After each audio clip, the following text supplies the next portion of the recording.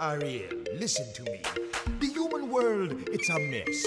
Life under the sea is better than anything they got up there. The seaweed is always greener in somebody else's lake. You dream about going up there, but that is a big mistake. Just look at the world around you, right here on the ocean floor. Such wonderful things around you. What more is you looking for? Under the sea, under the sea. Darling, it's better down where it's wetter. Take it from me. Up on the shore, they work all day. Out in the sun, they slave away.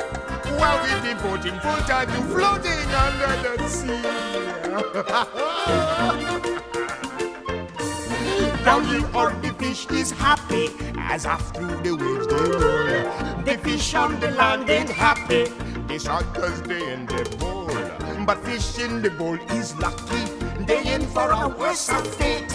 One day when the boss get hungry, Yes, you got me on the plate. but oh, under the sea, under the sea, nobody beat us, fry us, and eat us in fricassee.